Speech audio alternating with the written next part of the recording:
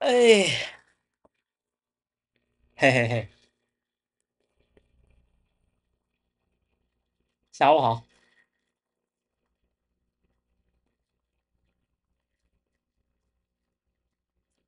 现在人不多呀，第一天放假出去玩去了吧？下午好，下午好。哦，正好在弄胶囊咖啡，声音比较大。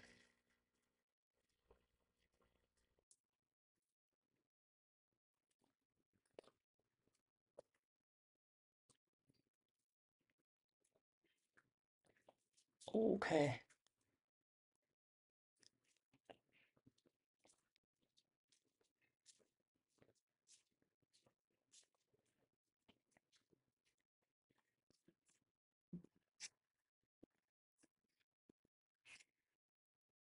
下午好，下午好。有没有刚跑完悉尼马拉松的？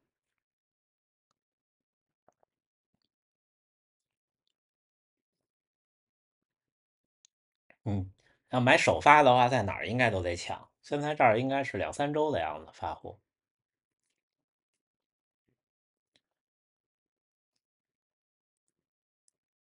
大黑猿先生成名人了，还有人在赛道上刚才拍到了大黑猿先生的那个叫什么？呃，跑步的视频呢？啊，今天的比赛还没都出现了，出现了，出现了。他没跟我说成绩，不知道，只是知道完赛，马上登机回墨尔本，一路平安。那今天可以介绍一下惊叹三，一会儿请家属帮忙拿一下惊叹三和那个六点零 Pro。我其实不太知道三三零需要什么配速，三三零配速是多少？抱歉，抱歉。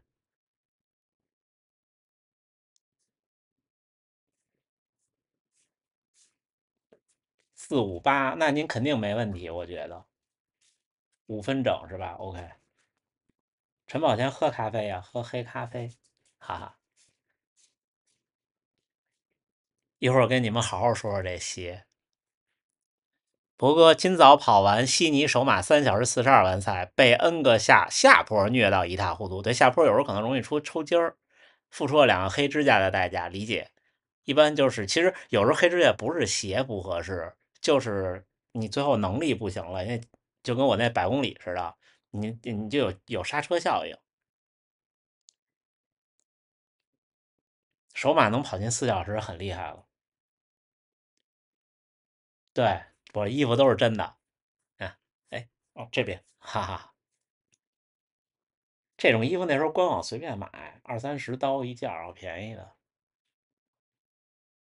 惊叹三点零很满意，一会儿等人多点咱们再说鞋，好吗？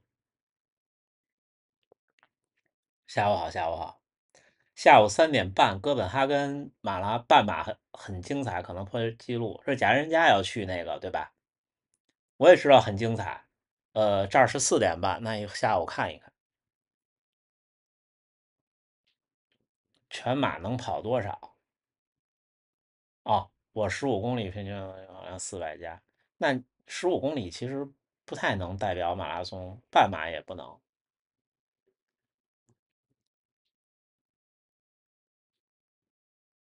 佛哥，我弄了个运动相机，有必要？什么意思？你要想拍摄，就肯定有必要。您感冒好了，跑起来觉得累很正常，而且好多时候都是心理因素。您看我那个新冠好了的时候，我该跑就跑，不想那些，上完路一切都跟以前一样。我我训练和比赛都戴隐形眼镜，所以我我我没有您这个问题。以前戴眼镜跑的时候跑得慢，买了个 Ace Pro，Ace Pro，哦，Ace Pro 挺不错的。自测三十基本上就可以了，三十五太长了。啊，弹幕字数限制很短是吧？对，这弹幕字数限制很短，可能也有一方面可能是产品层面考虑，一方面可能也有技术层面考虑。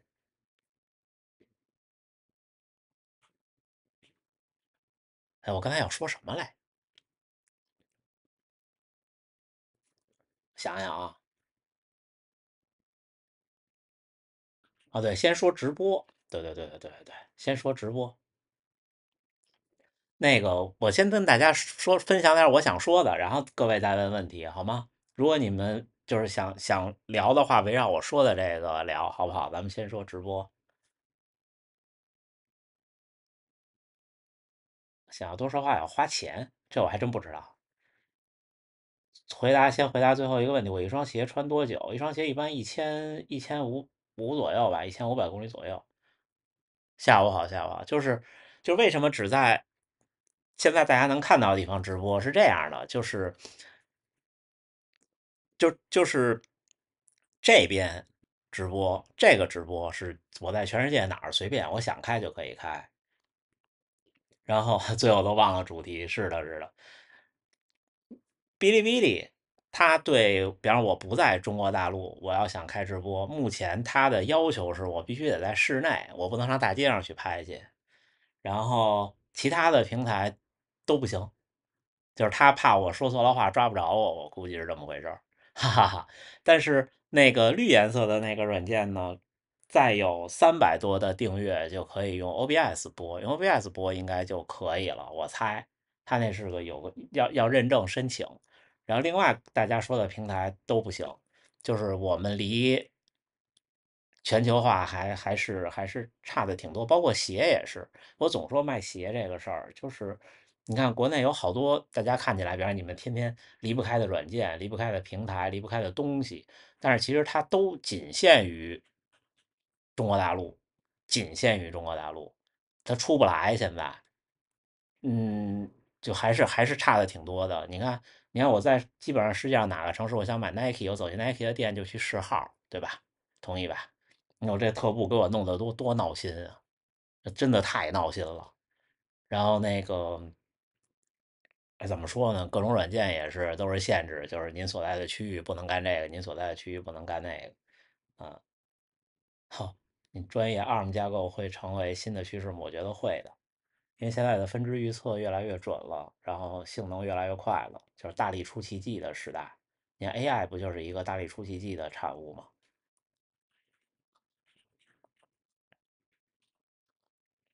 波哥应该卖鞋哈，下午好，下午好。然后第二个我想说的事儿就是就是关于鞋，呃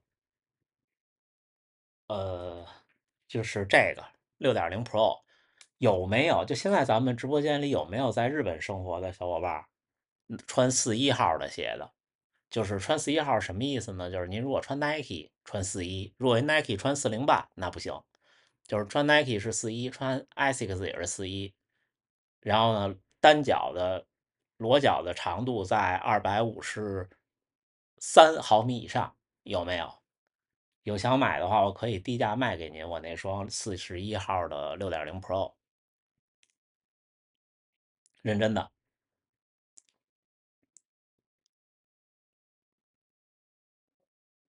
因为我看咱们观众里有在这儿生活的，就是如果如果您希望有要一双四一的，就是我可以大概在在呃两万日元，就是一千块钱人民币的样子出给您，咱们走在线交易就好。如果不行的话，就只能回头带回国内卖了。这鞋弄得我挺糟心的，我自己花钱买了两双。对，就像特步这种这种企业是看不上我这种这种自媒体的。我也看他们那发布会了，弄了一堆人去去测鞋，我觉得，哎呀，不好说。他让我去，我估计我也不去，我嫌麻烦，对吧？你还得飞一趟，然后还得怎么着？我一般这种事儿我都尽量。尽量尽量不那什么，不去。会长引荐我去，我哪有那么大面子？就回头回头回头，那个国内卖也行。过几天可能有人来玩，让他们带回去。对，会长那是真的是厉害，看会长测最大摄氧量那视频。对，但是人家专门做跑鞋评测的自媒体确实比我专业，我最多就说说舒不舒服，有没有劲儿。你让我说什么发泡技术是什么，我也说不出来，我都我都不知道，真心的。你问我现在问我这些什么发泡技术，我也不知道那名词是什么，真的不知道。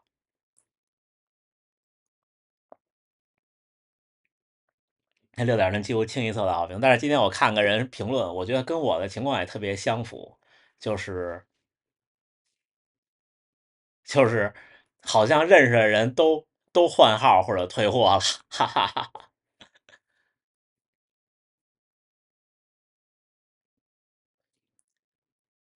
是这样，我也不瞒大家说，我试着联系过，但是就还是我说那问题，我找不着联系方式，搜特步全只有香港和海外的网站，然后好像简简中的官网都没有，我没太在没太没太往心里去。偏大，就是这鞋，我原来特步都穿四一，那为什么又买了一双呢？买双四一的穿着大特别多，就拉倒了。等于就是就是就是有一双四一的，就穿了十五公里的。六点零 Pro 有没有在日本生活的小伙伴想要的，好吗？然后那个低价卖给您，好不好？您要是不好意思在这儿说的话，您就给我发私信，或者呢，您去那个日本这边那个有名的二手网站，您去看，应该只有只有只有一双，是找了别人的账号在卖。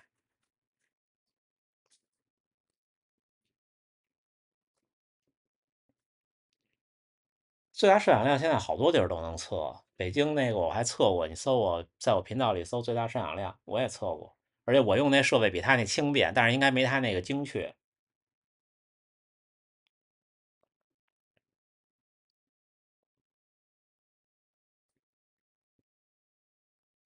因为我在这儿如果把鞋寄回去卖太不划算了，因为鞋太大了，现在这运输都是要不然按重量，要不然按体积，两者都有时候哪个贵按哪个。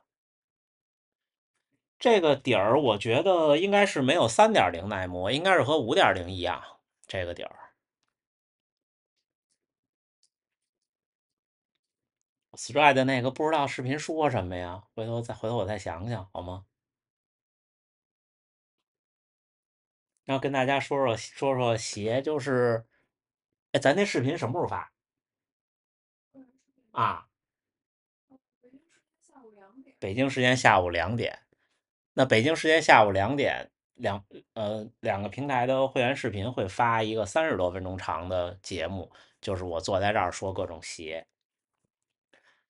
我不觉得三点零好，我始终不觉得那个三点零 Pro 好。嗯，每个人感觉不一样吧。我更喜欢五点零。嗯，三点零那双鞋太太不激进了。嗯，所以专门说鞋，我说了好几双鞋，大概是。再有再有半个多小时，大家如果是会员就能看到。呃，五二零的配速，您穿这些鞋是不是也可以日常穿？对我平常慢平轻松跑也都是这些鞋。下午好，下午好。有没有一些跑鞋买了后就后悔的？呃，二代的阿尔法 Fly 和一代的这这两个都都后悔了。一代是呃。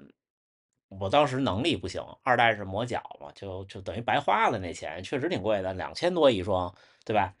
两千多一双可以可以买两双它将近，然后可以买可以买将近四双它了。我跟你们说说这个鞋吧，好吗？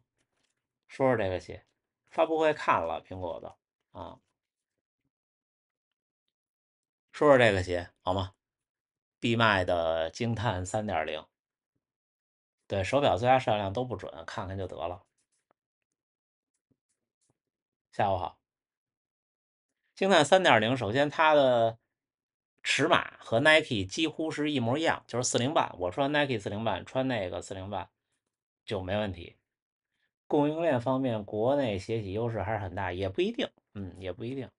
它优，它如果真的那么大优势，那么低的成本，那么高的利润的话，它应该往国外卖。同意吧？这又不像其他东西有合规性的问题，有有有那个各种的什么什么技术保护，也没有什么安安全一类的，对不对？还没有电，是不是？它应该往国外国外卖才对。然后，呃，我说说这鞋啊，就先不回答各位的问题。就这鞋，呃，尺码和 Nike 是一样的。这鞋是近年来我穿过的，我觉得，呃，我觉得不错的一双鞋。我们先说这个，两边弹幕我都能看到，但是但是但是现在先不回。这双鞋跟这双鞋一边沉，一边沉。然后呢，这个底儿是这样的，这个底儿我盲测，我觉得它可能会比会比这个六点零 Pro 耐磨一些。关键问题就是说，买一双它几乎可以买两双它，几乎原价啊，咱们就呃不是原价，这双的是优惠价，这双的原价，因为这双短期内不太可能有优惠价，我觉得。那那你的心态就不一样了。这双官方说的是五百公里以以五百公里的时候是没有衰减的，呃，我觉得这个这个底儿也不错，然后它的前后落差挺大的，穿上，然后它这个后跟儿这个地方。这个后跟的包裹跟支撑做的特别好，就就是它六点零 Pro 的这个后跟儿这一代做的，我觉得做的非常不好，就是像二代的 Vaporfly 穿上去不跟脚的感觉，但是不影响比赛而已。这这鞋还有一个有意思的地儿，我那个一会儿视频里都会说，就是它没有鞋垫，哎，它没有鞋垫。这鞋就这么说吧，到手七百人民币，随便闭着眼睛买，您就拿它去跑比赛。一点问题都没有，我下个月的东京半马就穿它跑比赛。这些十九号才开始卖，所以大家十九号，如果您，我我回头会问问官方有没有什么小小礼品什么的暗号那种，如果没有，就是我这儿也是淘宝的链接原价，你要是从我这儿买呢，我能有点收益。这个鞋真的不错，这个鞋真的不错，就是你看我这几天的节目吧，我穿着它。P 了个 B，然后昨天那十五公里最后一公里冲到了三分二十五，三分二十五啊，对吧？哦，我平你原来我平常单跑一公里都不一定能冲到三分二十五，他把空调给我开大点呗，巨热，还送一拖鞋，那那我没有这拖鞋，但是今天我收到了闭麦小伙伴送的一一顶帽子，提前没跟我说，特别感动。就这双鞋真的不错。您到时候十九号您来我这儿试试好吗？就是各位您看看我的橱窗，就我橱窗那东西都是淘宝，就是都是都是淘宝的官方店的，都是基本上都是我我我选择过或者我用过的，除了特贵的手表我我不舍得买的那种以外，那迪卡侬那冰袋我在国内也使，袜子也是，那训练就穿那个。这双反正我喜欢这色儿的，还有一双白的，应该也挺好看的。就这个就这么说，你要让我自己花钱买。在未来，为什么为什么花钱买了这个呢？是因为我有一个执念，就像我说的，我希望在比赛中发挥到百分之百。如果他是百分之百，我当然我这俩都没穿着比过赛，我猜啊，他如果是百分之百，假设他可能是九十七。如果阿尔法 Fly 三是百分之百，他可能是九十七，这就是我的评价，就这么简单。对，Fly 太软了，惊叹 Fly 就不适合我这个档次了。惊叹 Fly 差不多全码三三零以外可以。特步的六 P 和三 P 哪个好？我觉得六好，我个人觉得，我个人始终不觉得三好，我觉得五六比五强，五比三强。嗯，那惊叹 Fly Fly 和这个三点零是完全两个定位的鞋，就是。Fly 和它比，就像 Nike 的飞马和和 Vaporfly 比，完全不一样，完全不一样。帽子展示一下，就是普通的帽子，哈哈。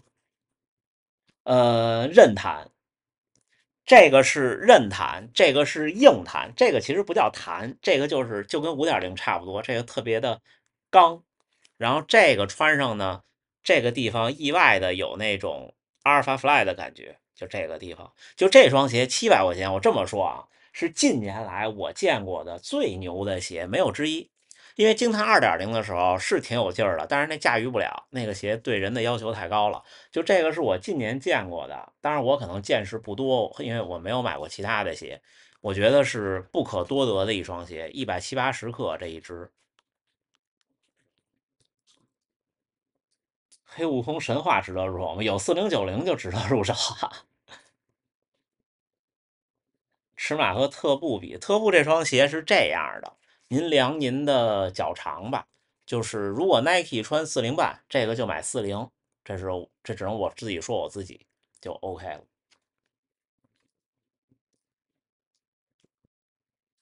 主页背景换了啊，对，因为原来挡着底下那字儿。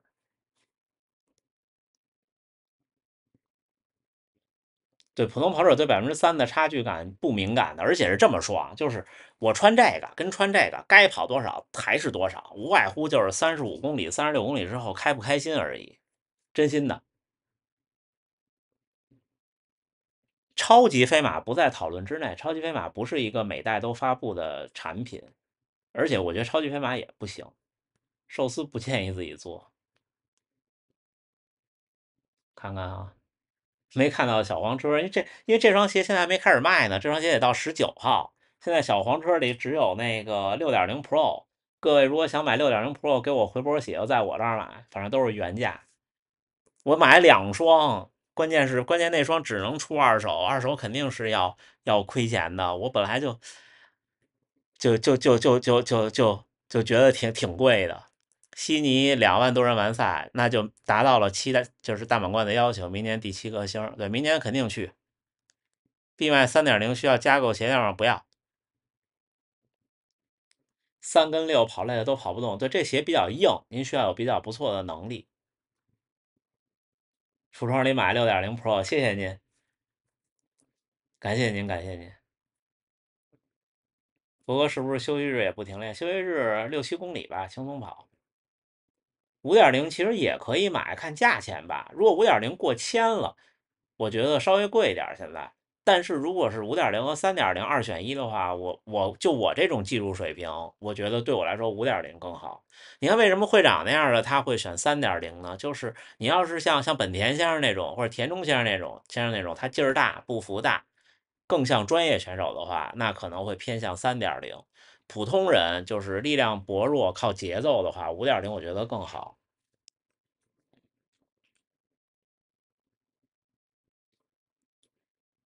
关于体重的事儿，您就去算 BMI。如果您在二十，就二十点五以下就没问题，就很可以。五分配速可以穿六点零 Pro，可以啊。我今天穿六点零 Pro 随便跑的。田中先生只跑过两次马拉松，两小时五十多。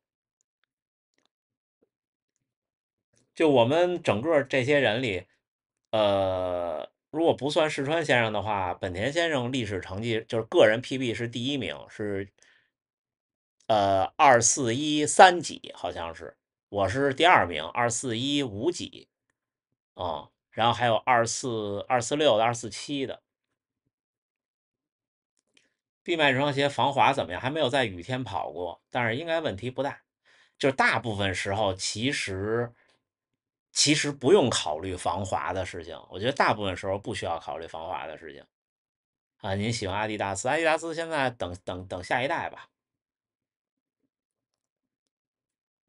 那世川先生不在比较的范围内啊，世川先生是专业的呀，对吧？闭麦这个可能到手的话七百，我猜，嗯。被六 Pro 磨伤了，有人说六 Pro 会磨脚后跟我还好。如果当天休息不出门，会有焦虑吗？不会。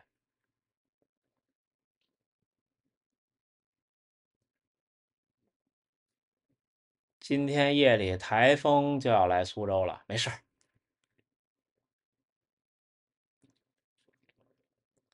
就闭麦这鞋太便宜的，也不要不要。轻易入手啊，因为官方的小伙伴和我说了，就是产能是有限的，不会有那么大的量的货去堆低价的，大家一定要小心，一定要小心，一定要小心，好吗？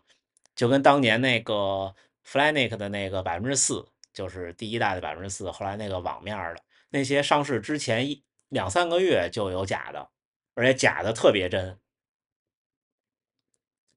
就如果你看到这东西，就是就是嗯。没有天上掉馅掉馅饼的事儿，真心的。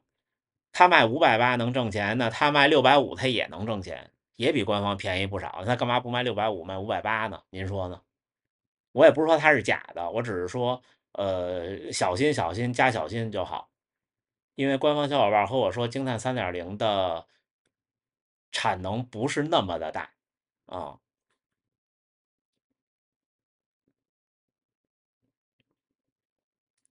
有个小问题，您说跑跑步卫衣，尤其是长袖，性能差距大吗？不大，随便穿。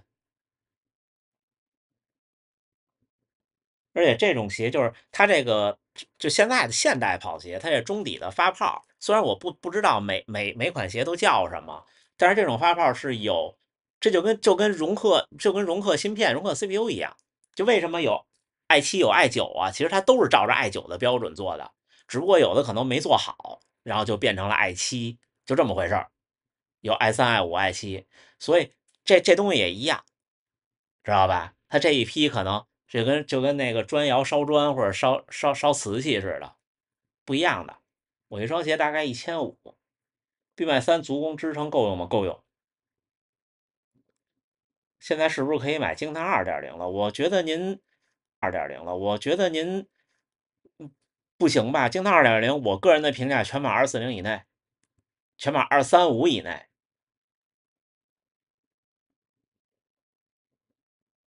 闭麦的尺码和微和 Nike 一模一样，很准确。对，就这网上卖买鞋这事儿也是糟心。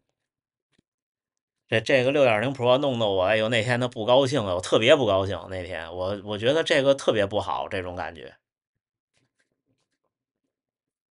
哈哈哈哈哈加油加油！三呀，三基本上就和。现在的各种各个品牌的旗舰款的碳板一样了，就您什么水平都能穿，稳定性不错。这双鞋你看这个后这个这个后跟的稳定性非常好，它稳定性你看我今天早上的节目说了，就是它的稳定性可能甚至牺牲了过弯的灵活性。嗯，老有人说说这个六点零的后跟稳定性不好，但是这对我来说没有用，我基本上后跟后脚掌不怎么不怎么用得上，所以这双鞋过弯的时候是比它好一些。这两天练得狠呀，对呀，什么时候回来啊？您您好像跟我说过一次，我不记得了。这两天已经跑了八十多公里了，三天八十多公里了。没有在是，我不是给特步面子，就是我有有什么说什么。就是这双鞋，我觉得啊，理智评价，我觉得幺二九九贵了。就是在我看来，就不是说它不值这个钱，就是在我看来，我可能不会在幺二九九买第二双了。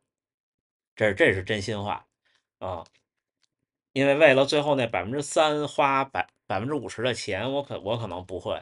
但是这双鞋会干什么呢？正式的大比赛、全马比赛时候会穿它。嗯，这双鞋的这双鞋的这儿不舒服，这双鞋的这儿会有点不跟脚，我倒不太磨，但是就是略微不跟脚。嗯，其他的都还好，其他都还好。你要非得说全马哪个好的话，目前我穿就都穿过二十一公里。但是他还没有跑过强度，所以下周三的强度课应该是穿它。呃，我觉得如果全程马拉松的话，可能到最后它的衰减感会比它稍微多一点点，也就这样。计划下午去跑个二十八，您那热不热？感觉现在你比以前更努力了。对的，明天回来不知道台风会不会延误，没事儿。衡水马前做一个长距离。有比有比赛目标吗？成绩目标吗？衡水是二十二号，那今天跑二十八公里有点有点多，我个人认为有点多。Pocket 三和 Go 三 S，您更推荐哪个？要看您干什么。您要是出去旅行吃吃喝喝玩的话，那那肯定是 Pocket 三的成像质量更好。轻便的话，肯定是 Go 三 S 更好，特别方便。特步的新背心买了吗？没有，我都没听说。那是不是咱咱咱加个橱窗？哈哈哈哈还有两周柏林，这周二跑鱼之后，大腿外侧开始酸痛，一落地就疼。呃，柏林要退赛，您是在欧洲生活吗？如果在欧洲生活，那无所谓，来年再跑。您要是跨州去比赛的话，可以试试坚持下来。对，十九号才能买。这个这个十九号。十九号开始买，下午好，下午好。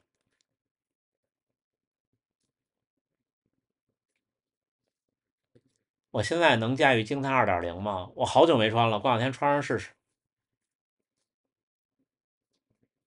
他特步的背心儿今天买了，OK。哎，那今这周的会员视频已经发布成功了，大家看完直播，要是频道的会员可以去看看。我一双鞋一千五，兄弟，一千五左右。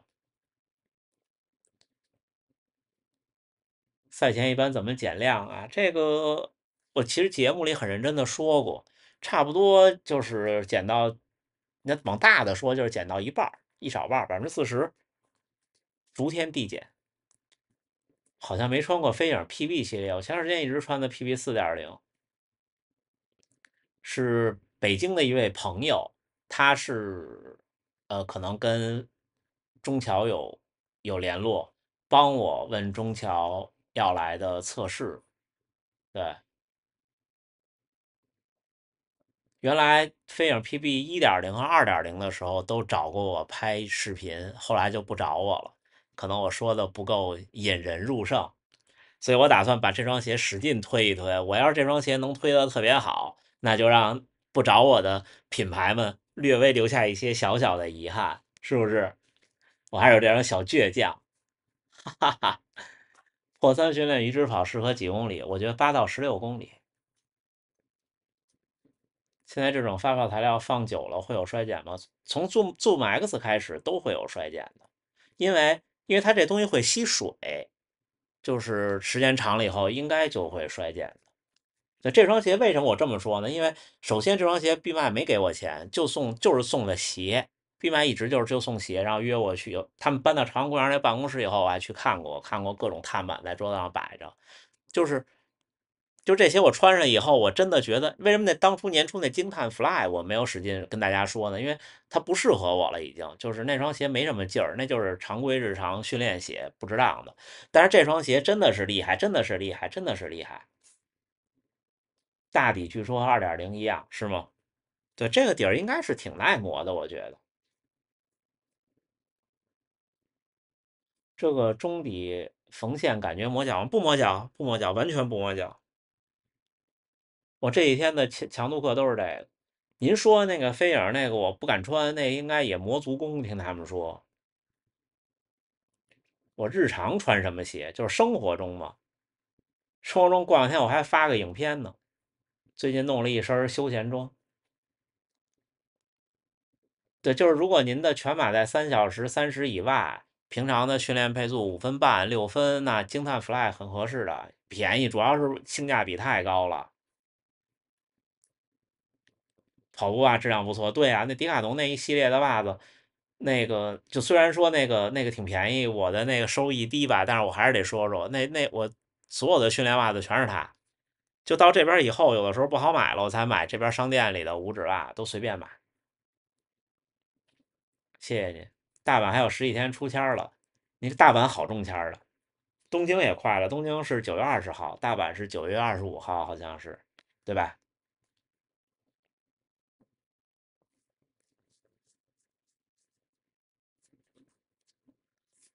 幺零 X 六点零 Pro 支撑性咋样？支撑性，我就这么说吧，这个这这个六点零这双鞋，如果您的全马在三小时三十以外，甚至我可以说三小时十五以外，您穿上它以后都会觉得有点不稳，就像从第一次穿百分之四那感觉，当年就会觉得，哎，这个前脚掌这落地以后觉得有点晃悠。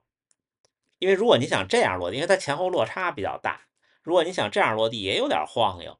但是在我这个技术能力的时候，这个就挺棒的，就这个这个确实是特别的有劲儿。实话实说，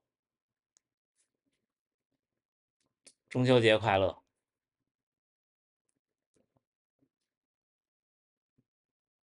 嗯，但是惊叹 Fly 现在嗯支持橱窗上惊叹 Fly 有道理，来。听见没？请博哥，请问东京半马和神马间隔不到一个月，三十自测安排什么时候可以呢？您也跑东京半马吗？如果您也跑东京半马，其实我是这么想的，我打算就是东京半马就当自测了，我就不跑那个三十了，整差一个月。哎，您穿多大号鞋？想买六点零 Pro 吗？我就穿了十五公里。您要是想买咱们东京面交，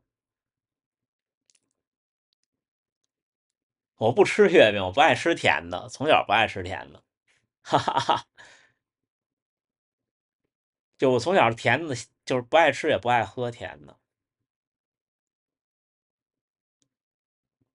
就是你看我吃东西其实挺挺挺典型的北京人，就羊肉得吃膻的，李子得吃酸的，然后这个茶茶叶得喝苦的，嗯，还有什么呢？没什么了，差不多就这样。跟博哥吐个槽，原来很喜欢超级飞马，今年复刻也买了，性能很一般，那确实很一般呀。四四有点小，OK，十九号来我这儿买比买没问题。现在中国继日本那个菜鸟那个特别快。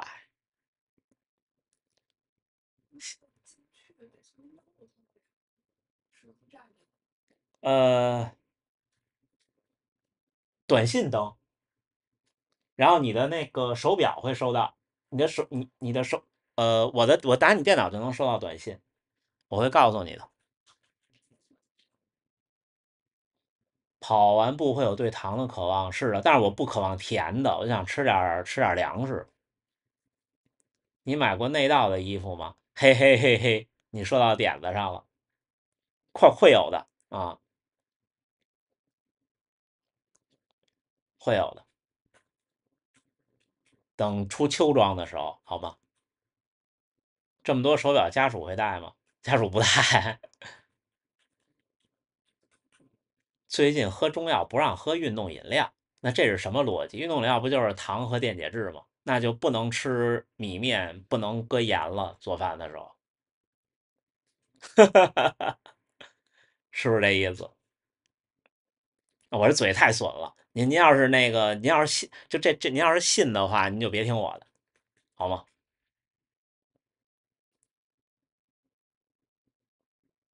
有推荐的秋冬季衣服吗？有。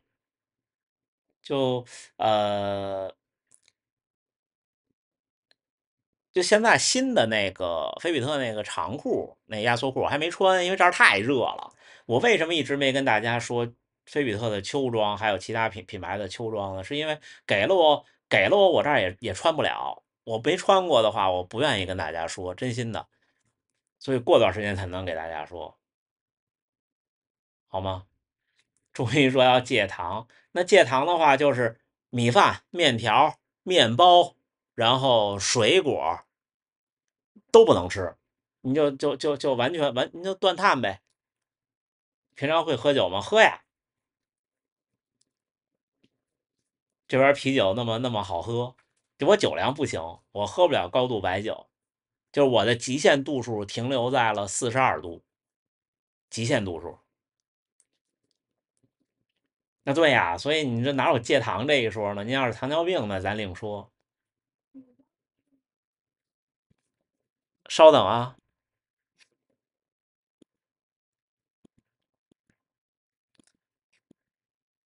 没有，你是发的你的手机号的短信吗？嗯嗯，那就不行喽。你的电脑是不是登着呢？啊，那你这样，你你从这边绕过来，我告诉你咋弄。平常生活娱乐饮料喝啥？我不喝饮料，这真的不喝饮料，不骗大家。哎，你这么着，你别别把这些碰掉了，你重要你这么弄，你别如画就行了。你这儿能看见你有没有在画，就是这 OBS 可以看见。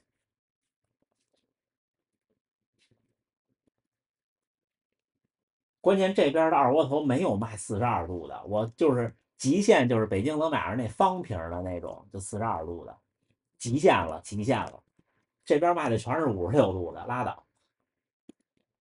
内道的压缩比轻功的的确好多了，是吗？我我回头会试的，好吗？不行，呵呵，就这破玩意儿，我看，我来。哎呀，你的账户密码是不记得对吧？登不上。哦，行，大家稍等一下啊。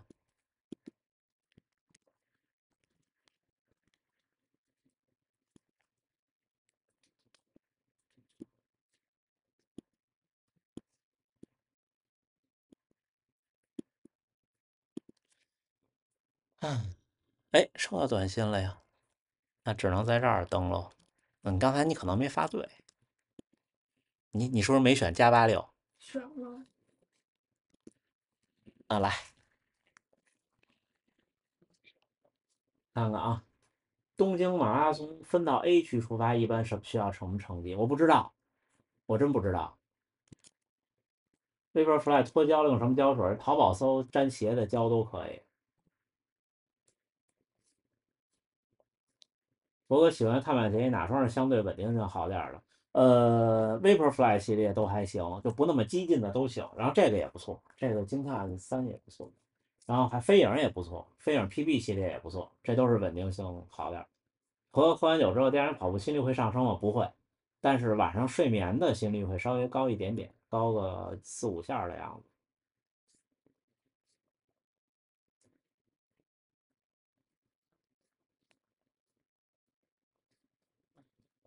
我一天老想喝咖啡，我也是。哈哈，碳水超补怎么做呀？就是你想，你想超补的前提就是你得下去狠心戒。哎，这儿能看到屏幕？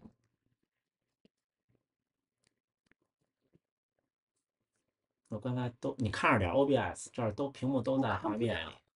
我看，但你，那你把电脑往那边端一下。你刚才有什么敏感内容吗？在这个角落，没有吧？嗯。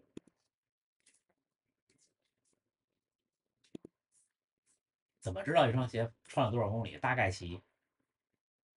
话说有打算把萨罗马百公里的攻略做图文放在公众号里吗？有。哎呀，不能说那三个字。呸呸呸！我什么都没说。啊。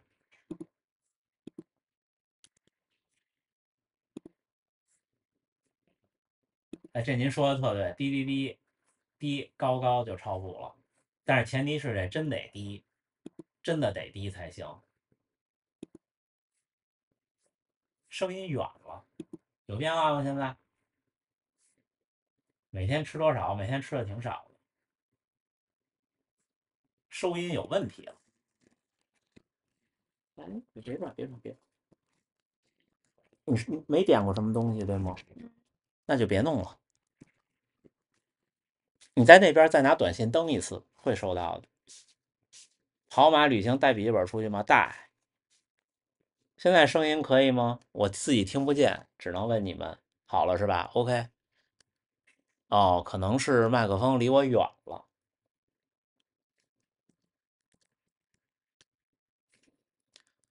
我看一下这边啊。哥哥，请问，呃，还以为一般周六，对，这周六这个这中国大陆。调休啊，叫什么？怎么说来着？调休还是？我都我都不知道了。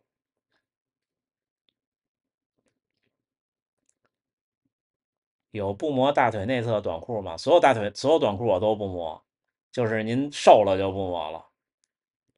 加扎训练会做，每次加量后的第两三个月都会受伤，是这样的，就是加量很容易受伤的。没事儿，受伤就说明要进步了。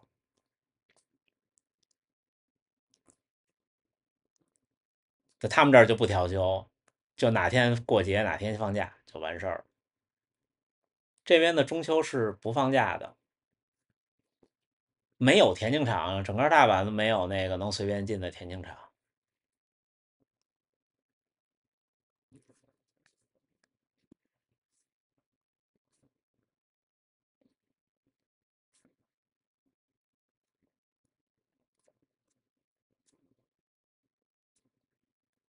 我也老我也不怎么受伤，不是不受伤就该加量了，而是说你练到一定程度就就没事儿了。评价一下苹果新产品，就如果您是十五 Pro 以下的机型，我就建议换。对，就是现在 A 系列的 A 就要出的 A 十八和 A 十八 Pro 依旧是全世界最厉害的手机芯片，没有之一。然后其实大家都一样，手机都是都是组装出来的，大家的摄像模组基本也都是索都是那个索尼的，然后就看谁的谁的，其实说白了就看谁的谁的软件和屏幕性和那个芯片性能做得好。芯片这东西十十八个月翻一倍，这个事儿是是打不破的。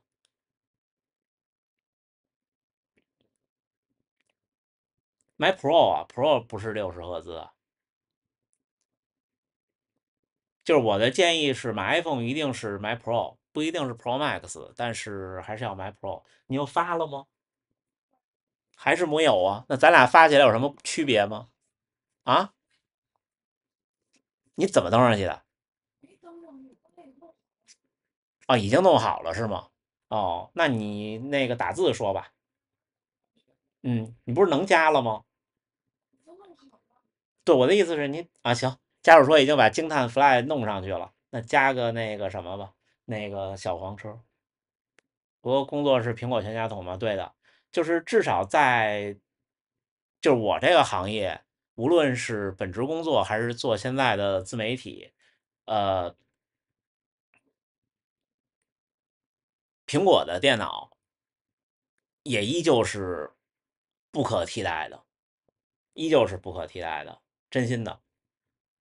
现在我觉得，在我整个的生就是生我整个的生活生态里，可能只有 iPad 和和手表可以替代成其他的品牌，但是但是但是其他的真的不行啊！就手机这东西是这样的，如果您在欧洲生活，用安卓可能还不错，但是咱们就说个特别实际的问题，比方你看我这个去欧洲当地的。交通卡在可以直接在 Apple Pay 里加，去美国去纽约，交通卡也可以直接在 Apple Pay 里加。嗯，到北京，公交卡也可以直接在 Apple Pay 里加。在日本，西瓜卡什么的也可以直接在 Apple Pay 里加，拿银联直接充值。但是您要是拿个，不说品牌了吧，您您到这儿来，您就得买实体的公交卡，就是这么回事儿。然后您想装个谷歌地图什么的，有的品牌可以能装。谷歌框架还行，有的不能就 Micro G，对吧？还是不太一样。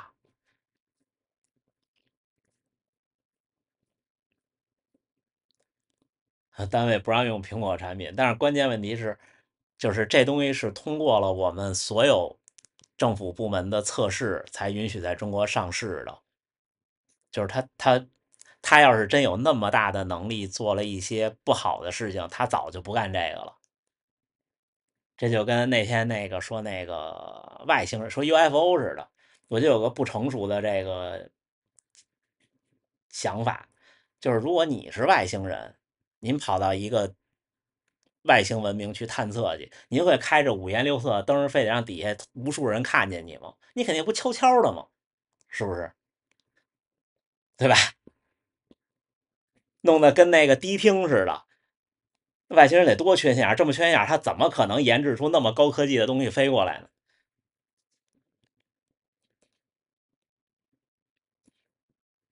如果现在六十五公斤，您认为全马会慢多少？就我吗？十分钟，五到十分钟。我不推荐 Mac Mini，我觉得台式机的话，要么就是 Ultra，要么就干脆 MacBook Pro。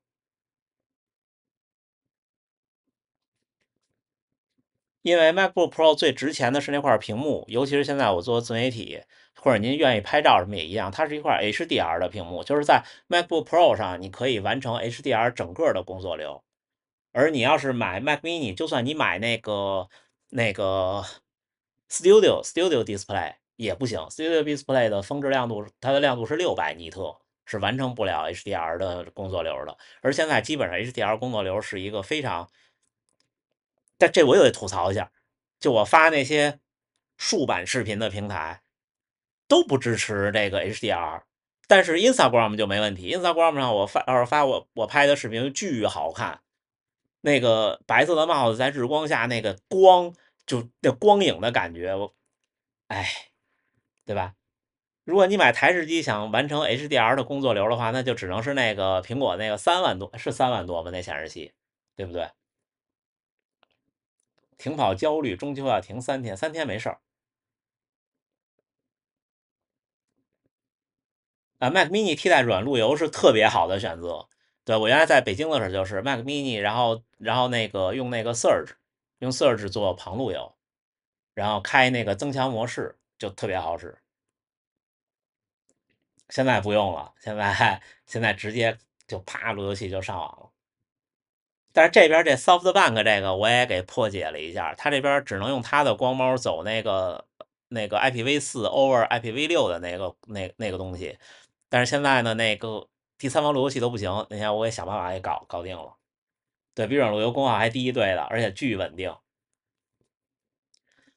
您有买您有过买了游戏机却没小伙伴的情况吗？啥意思？啊？啊，双人游戏呀？那那没有小伙伴为什么要买双人游戏？春节肯定回北京，我还没想好北马，就是北马，呃，北马我不一定能有名额，我得抽签儿啊。我想的是北马，如果我能有名额，百分之百回去跑一趟，真心的。有没有屏幕屏屏幕前有有路子的大神们？降 B B M I 二十点七降不下去了，我觉得降不下去没事，二十点七可以了。长跑是不是不穿袜子更好啊？得穿呀，兄弟。昨天和跑团跑了个亚索八百，平均三分四十，全马想破四，感觉没底啊。您这个成绩全马破不了四，我觉得亚索八百对全马破四没有任何意义。亚索八百是大概全马三小时左右会比较准确，再慢的话太慢了，再快又太快了。一米七零，一九八一年。出生，二零二三年十月，八十一公斤开始开始跑，尝试挑战马拉松。当时关注立立丧至今，感谢您。每次验跑跟都看月跑量一百五到两百区间，不错。备赛四个月后，二零二四年三月十七号六十九公斤，洛杉矶马拉松三小时四十八，了不起了不起了不起！这个这个年纪，这个体重基础，首马。破近四小时了不起，给您加油！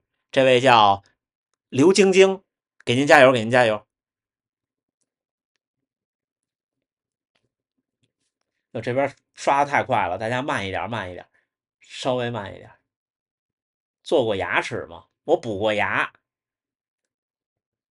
阿迪搞个名额，不认识阿迪的人呀？请问练到什么程度可以全程跑下来完成首马？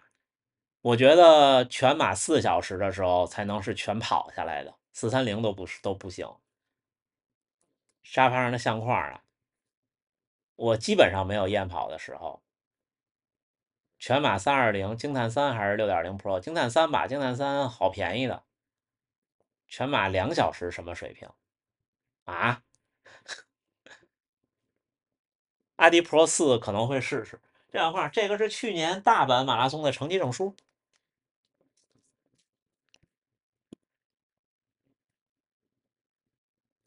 大阪马拉松的老板叫松本正义，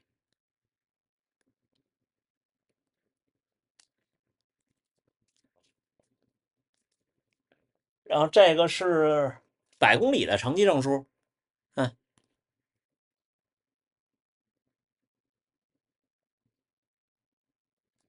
您刚跑步那会儿，每次结束一瘸一拐吗？不啊，您要是因为累一瘸一拐没问题，您要是受伤疼一瘸一拐那。那不行，不不好，这减强度。到时候看吧，如果北马能有名额的话，我就肯定回去跑一个北马。北马跑完回来跑神户，到时候再说。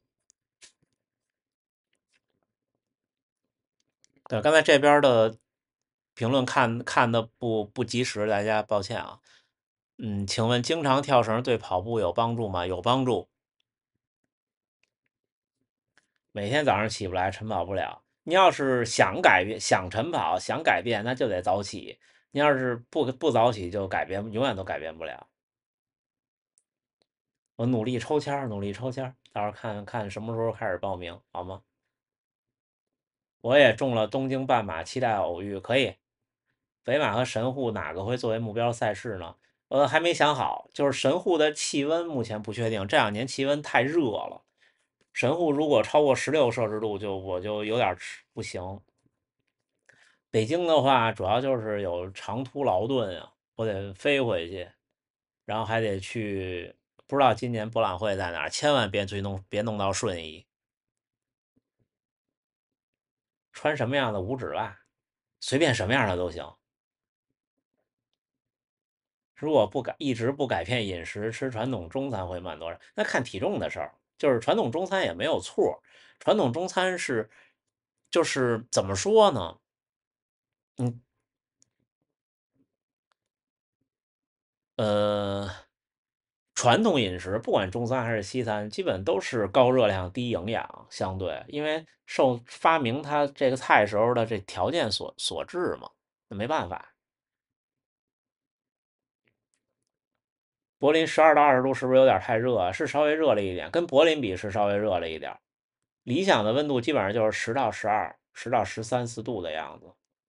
直播设备是 iPhone 十三 Pro，能上菲比特的长裤吗？有啊，来，有，橱窗里有，就是没上到这个小黄车里。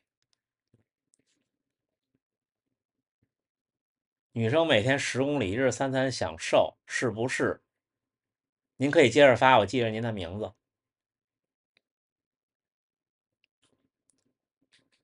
三十二公里，两小时五十五，全马能破四吗？有难度，我觉得有难度。那个那个小无人机，我想买的，这儿有点贵，这儿卖三万三日元，我想找人帮我带过来。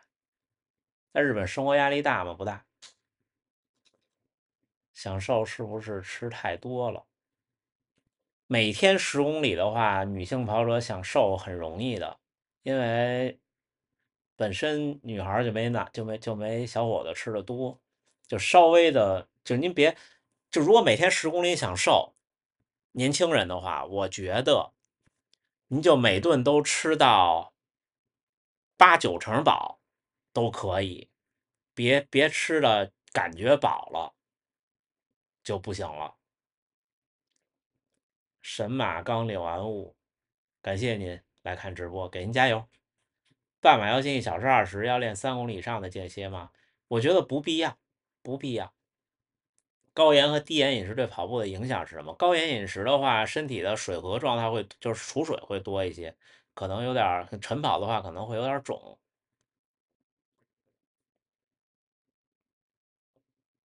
我不计划养猫。还是没有？你不是刚才说弄好了吗？就是你发验证码之前选那个国家，选加八六。那为啥？你换个浏览器，你拿那个，那不知道了呀。三三零的话，长间歇跑多少合适呢？哎，那拿手机能操作吗？我的。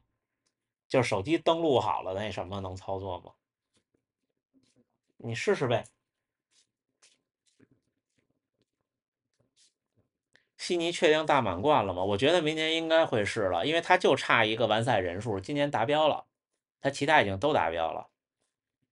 十一月十号首马，那提前一个月测试呗。身体储水多是不是能提高恢复效果？但是不能靠盐储水多，储水多是说你赛前。赛前，呃，多喝水会好一些。七月欧洲旅行，看完奥运，七月三十一号回到 L A，八月一号正式备赛，十月十三号的芝加哥，八月跑量两百八十七，可以可以。呃，八月跑体重七十一到七十二，降到目前六十五到六十六。目标赛前降到六十，你达成三二零。之前半马配速三三零，我觉得您就这么干没问题。体重遇到瓶颈期下不去的话，只能再少吃。但是您我您刚才说您一米一米七零，现在六十公斤，不至于下不去。就是我比赛的时候，我大概就是五十四公斤。而且照您说的，您应该吃的比我还少才对。嗯，反正就是我的原则是说，三餐之外我什么都不吃。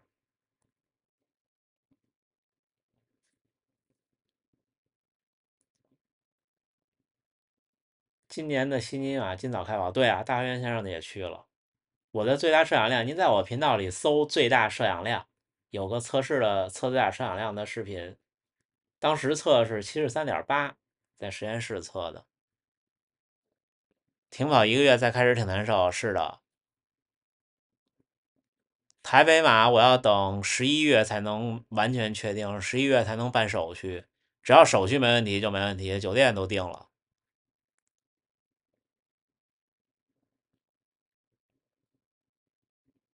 每月两百五十公里，从三幺八到三零零，我觉得有难度。嗯，我一开始跑步的时候没这么高，一开，但是我一开始的时候就不低。我刚开始跑六七分配速的时候也一百七十多。我比赛吃什么牌子能量胶？现在吃这边这牌子的，然后大比赛买那个最贵的。我买最贵的东西的原因也不一定就是它是最好的，而是说，就给自己给自己没有不行的理由。我不知道我说吗？就像就像买双鞋一样，就是我是我真心觉得，就这个惊叹三穿着比这个带劲。就就我来说，嗯，但是为什么买它呢？就是刚才我说的，它到三十五公里以后可能比它带劲。同时呢，就该做的我都做了，再不行就全都是我的错，这是这是我的理念，所以，我做好多事儿就比较的那什么。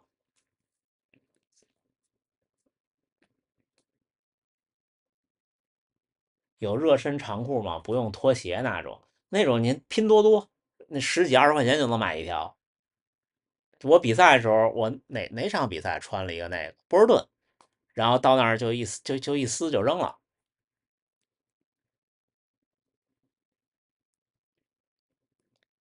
大阪中签再开始练，大阪九月二十号十十一十二一二没问题。日常长距离需要主动减少补水吗？不需要，随意。但是可以减少，不可以不要那么玩命的吃能量胶。髂胫束综合症那就是臀中肌的力量加拉伸。首马前基本上都是四周，其实赛前一个月测一个三十公里会比较踏实自己。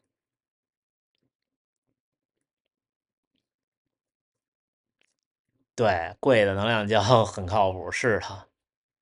比赛咖啡因一包一百五十毫克，一包在赛前没问题。咖啡因这你吃多了也没问题，吃多了人身体也不是说吃了都吸收了。目前间歇跑四百米，三幺零到三三零是配速吗？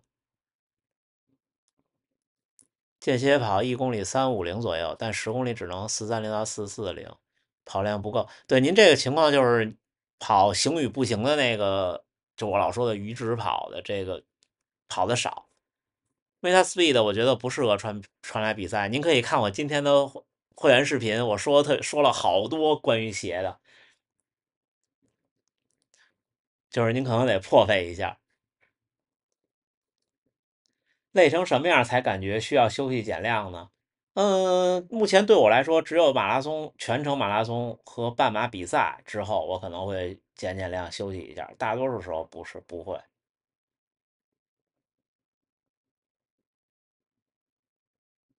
全马比赛前吃几吃吃几个？全马比赛吃几个咖啡因？几个普通？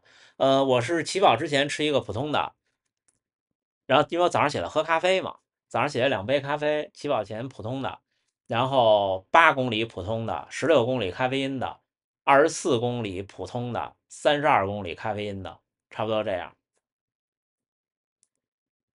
就不服不频这事儿不是靠练出来的，不是靠模仿练出来的，不用太想。初级跑者驾驭不了六点零，初级跑者不要买六点零 Pro，初级跑者买买它都不要买六点零 Pro，您穿不了。您穿上以后，唯一的唯一的收获就是脚疼，所有地方都疼。全马想三三零，那就是五分配呗。间歇练多少距离合适？十个九个一千，七到十个一千吧。我目前强度七公里操场三五二的配速，那不低了呀。能搞吗？OK。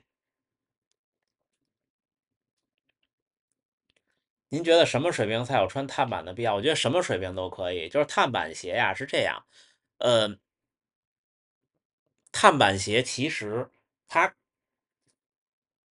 马拉松比赛可以喝咖啡因，当然可以了，当然可以了。碳板鞋其实是这样，我跟你们跟你们大概说一下我的理解啊，可能不一定对。就是碳板鞋是让鞋底儿的回弹更好，但是好多人说，为什么说这个老老听到有人说说不要穿碳板出跑者，是因为。有的碳板鞋，像这双鞋，它是为了精英选手设计的。您刚开始跑步没有那能力的时候，并不是因为碳板让你难受，或者让你让你受伤，让你跑不好，而是它牺牲的支撑和稳定，让你觉得你穿上以后晃悠也好，或者说发受力不稳也好，造成您的受伤。我不知道我说清楚这这个原因没有？这就像，就像以前没有碳板。的时候也有也这鞋也分是竞速精英穿还是慢跑穿，对不对？那它其实都是这种发泡的底儿，或者都说都是旅游鞋的底儿，同意吧？四分三十就差不多了，可以穿。惊叹 Fly 啊，惊叹 Fly 差不多全马三三零以外，到到到六小时完赛都可以穿。足底筋膜炎都是跑好的，没有养好的。一起去买几双袜子给伯伯回去。各位可以看看菲比特的秋装，我觉得菲比特这品牌不错，也可以看看。就是这个鞋，如果您对比赛成绩有执念，在三想破三或者已经破了三，六点零 Pro 绝对是一个。当然了。您去看我那节目吧，我在这儿再多说最后一句，就是如果您穿阿尔法 Fly 三不磨脚，全程马拉松在两小时五十以内，舍得花多花那一千多一千块钱就买阿尔法 Fly 三，否则它是目前我认为的这个段位的不二的选择，或者说这么说，不三的选择，它也 OK。这俩刚才我开开播时候说了。如果阿尔法 Fly 三跟它比，阿尔法 Fly 三是一百，它是九十七，这俩比，如果它是一百，它是九十七，就这么回事最后一遍，跟腱不是有什么好建议吗？跟腱不是降强度，把跟腱练练到强大。菲比特有女款的，我橱窗里男女款都有。五分配，觉得惊叹 Fly 可以穿吗？可以穿，而且我。今年春节在北京的时候是拿到的金碳 Fly，我发过视频，虽然当时怎么说的我已经忘了，但是嗯，我觉得金碳 Fly 比飞影 PB 四再稍微弱一点点，那个感觉。方便评论飞影 Fly 的吗？我没穿过，我真的没穿过，而且不是中桥跟我有接触，是朋友送的，就是。中桥不送测，我估计不会自己买，因为我在这儿买，万一不合适，我又退换不了。哎呦，有时候挺闹心的。打字期间收到您的建议，那就继续减餐训练。芝加哥 PB，给您加油！今年的芝加哥，今年芝加哥好像野口先生也要去。博哥必卖惊叹 Fly 建议破四川吗？建议。惊叹 Fly 基本上三三零以外随便买。到能从完赛到全马三三零这段区区间，惊叹 Fly 随便买。但是如果您在全马已经破了四，就是全马您在三三零周围了，惊叹 Fly 可能又稍微软了一点。三二五到三幺幺零之间这鞋可以吗？哪个鞋呢？我觉得惊叹 Fly 的话，三二五到三幺幺零之间又稍微有点有点有点保守。对，可以试试三惊叹三，但是等到十九号保研了，恭喜您。是个是个是个好消息，因为现在这个这时候，如果直接毕业进入社会的话，可能不是个好时好时机。嗯，就你看，我现在很努力在经营我的频道，也跟这有关系，就是钱越来越不好赚了。闭麦精蛋三适合破三吗？很适合，很适合。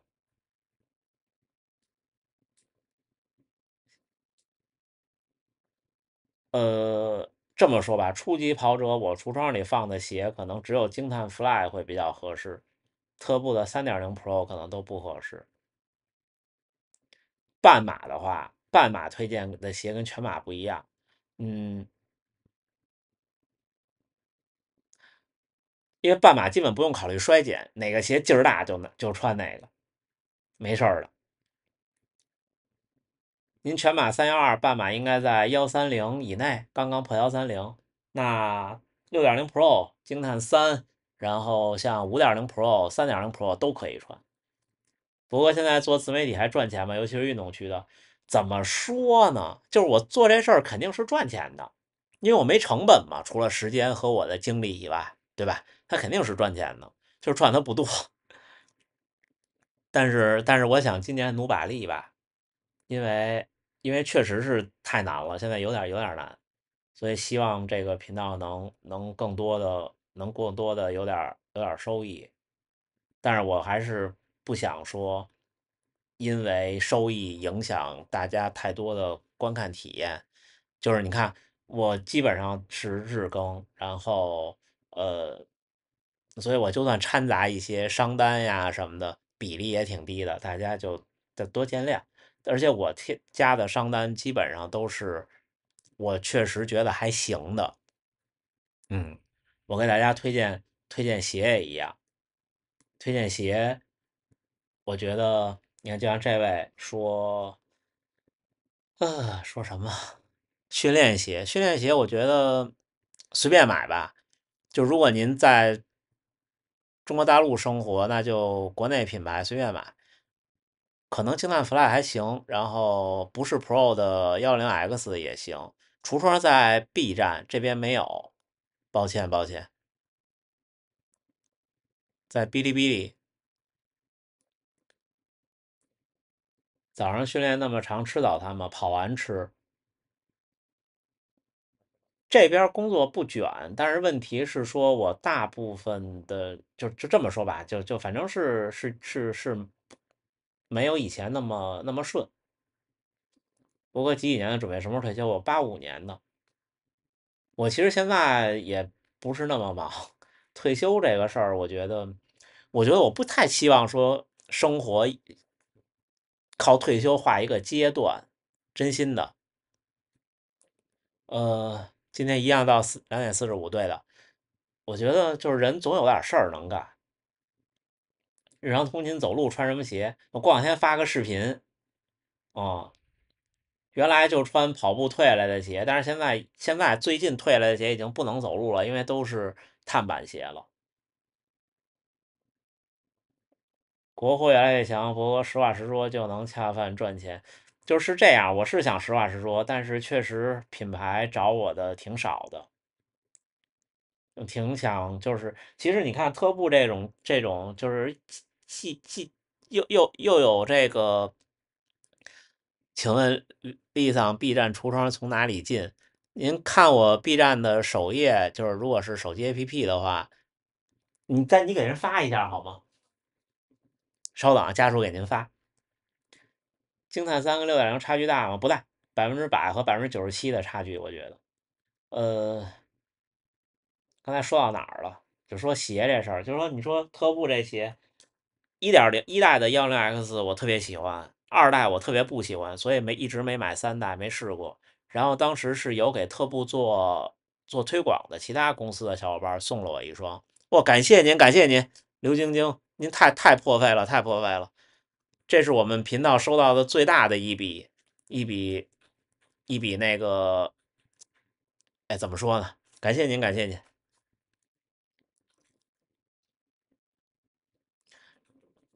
就是三点零，后来是因为阴差阳错，一个一位朋友，咱们频道的观众，当时是给给那个特步做推广的，送了我一双，我觉得特别好。后来五点零是我自己买的，花钱，然后这也是自己买的，我买两双都是自己花钱买的，所以我说的东西，大家应该是应该我说的应该比较中肯，就是我没有收任何的任何的好处。这个虽然是闭麦送的，但是嗯，但是我跑了 PB 呀，对吧？我那天六点六公里 PB 穿了它呀，那这还还怎么？那那不就那不就 OK 了吗？对吧？我肯定不能说我穿自己买的鞋不好好跑，穿穿别人送的鞋我就好好跑，同意吧？他那个不知道他那儿能不能下载哔哩哔哩的 APP？哔哩哔哩的 APP 在好多地方不上架，就只能是 APP 是吗？哦，OK。跑前不吃东西的话，跑那么长不会饿吗？不会，习惯了。但是就是如果您跑三十公里长距离的话，嗯，我建议的是，我始终建议不建议跑前吃太饱，我建议的是训练过程中进行补给。感谢您，感谢您，我会继续努力的。感谢刘星晶。B 站国际版好像没有橱窗是吗？那尴尬了。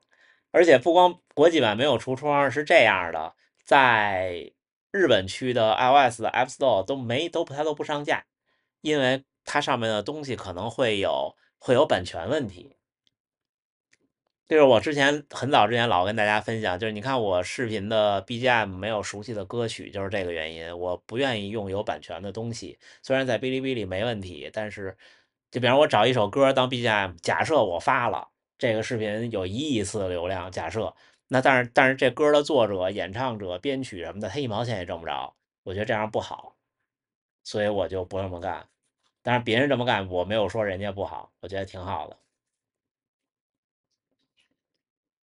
啊，到点了，那咱们多聊一会儿。今天挺高兴的。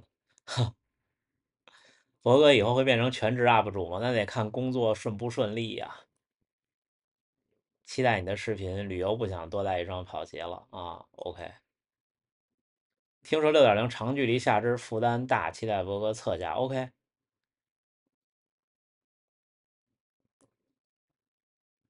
博哥能不能联系到大阪或者日本的中药企业啊？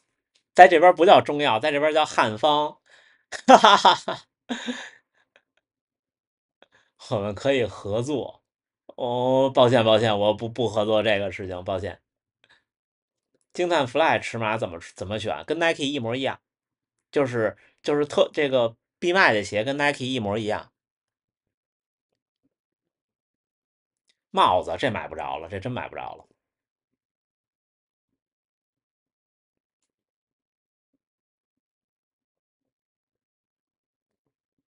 我是中国最大的药材市场的，哦，但是这边有难度的，这边真的有难度的。您来，您可以来旅游来看看。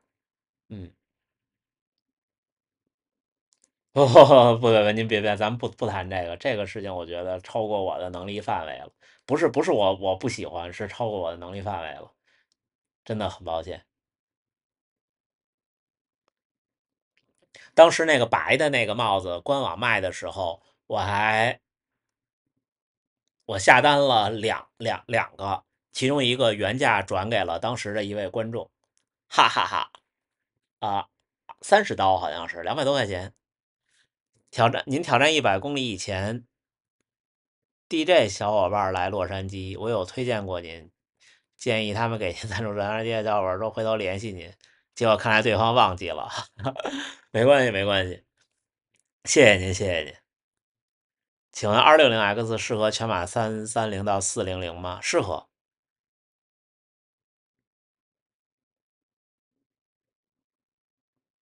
前脚掌宽，呃，有什么建议？那你得挑，这我还真不太不太不太不太懂，不好说，不太好说，不太好说。闭麦脚长二五零。二五零的话，我你看我的脚长是二四八，我穿四零半正合适。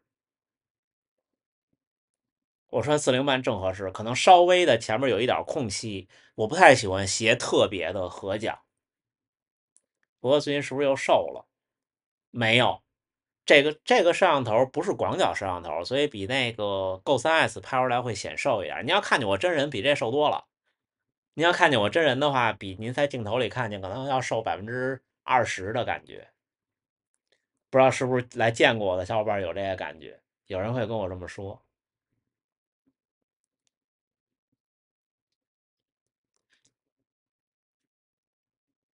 感谢您。如果去到，如果去去台北马拉松的话，我连那个，呃，反正我频道会说，我还会开直播，到时候咱们聊好吗？半马幺五零可以穿精碳三吗？可以，我觉得精碳三这双鞋的宽宽宽容度比较高。呃，二二三零全码到到多少呢？差不多到四四零零吧，四零零以外可能没必要穿这个，四零以外就去穿惊叹 Fly，或者是 Vapor Fly，或者是特步的不是 Pro 的系列都 OK。行吧，那差不多了。亲戚朋友或者人家说您瘦的像生大病了吗？不会啊，我没什么亲戚朋友。哈哈哈，我现在亲戚不超过十个人。